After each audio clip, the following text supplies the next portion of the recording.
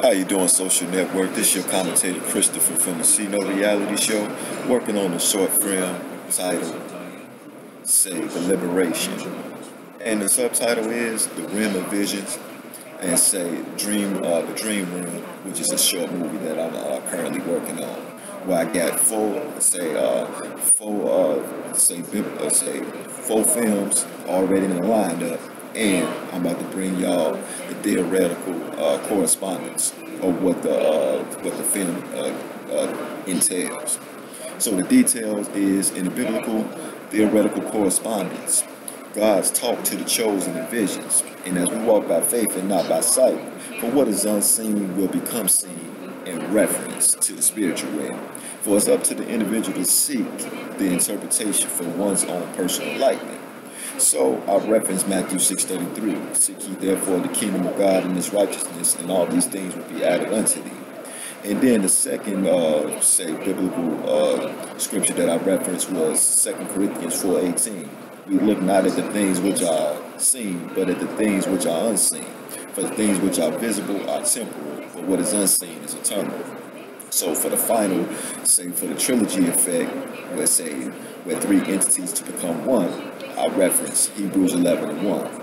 Now, faith is the conviction concerning those things that are in hope, as if it were the things in action, and revelation those uh, those things that are unseen.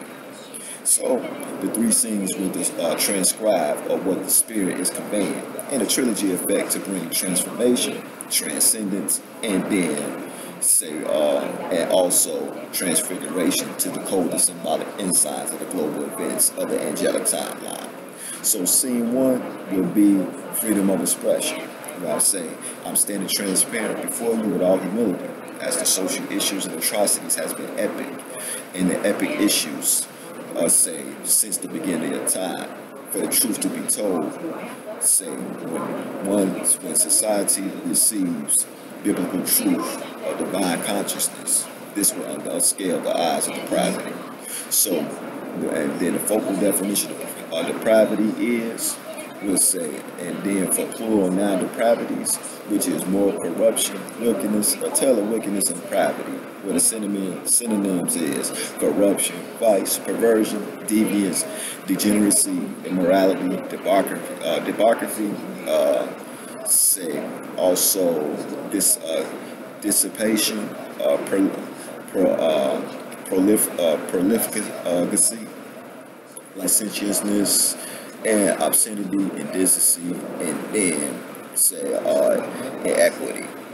So, so in this, for the Christian theology, there a corruption of human nature due to original sin. So that's the uh, dissertation that I'm submitting for this short film, and we about to get ready to see the correspondence of what the Lord Jesus Christ is trying to convey to the global spectrum of universal creation. So, hey, that's my time in the box. I want to say, may the Lord Jesus Christ lead each and every one to divine destiny.